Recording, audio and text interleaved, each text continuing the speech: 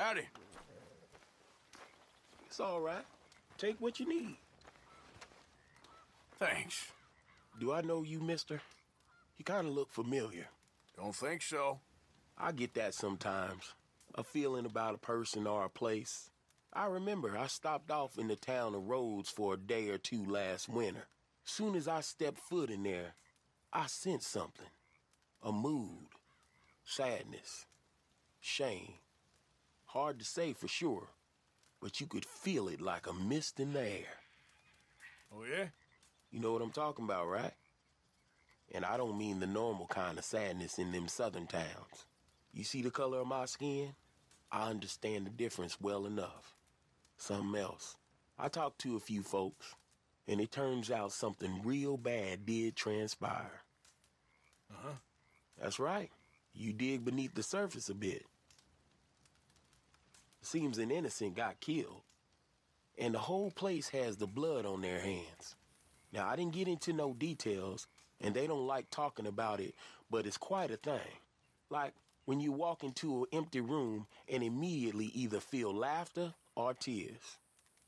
Well, now. My mama left me for dead as a child, and I've been on my own ever since. Maybe that gives me a different eye for things. I don't hold any pain. Not no more. But I'm sure she carried that around just like them people of Rhodes carries theirs. Well, can't be jawing all day. Things to do.